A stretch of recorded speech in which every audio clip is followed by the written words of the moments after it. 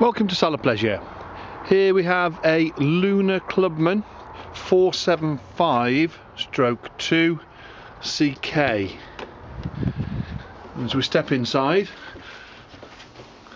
in front of us we have the kitchen and here we've got um, a cooker which has got four gas rings with grill and oven.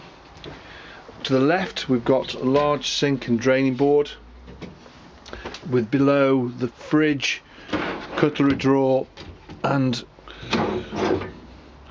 wire racks on runners for kitchen items, a microwave up at eye level and we have uh, uh, an Omnivent extraction fan. Looking down to the front of the van we've got some terracotta cream um, beige coloured upholstery with nice contrast trims and coordinating curtains.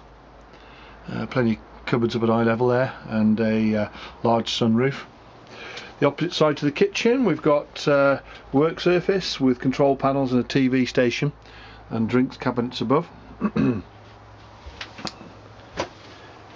so if we turn to look back down the van we can see the mirrored door into the washroom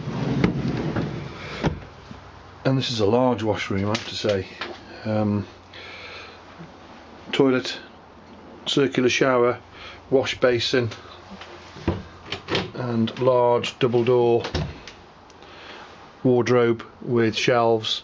The TV aerials in there as well you can probably see and some um, drawers underneath. Very spacious washroom and large living room kitchen area in the main part of the caravan. So there we are. We have a Lunar Clubman 470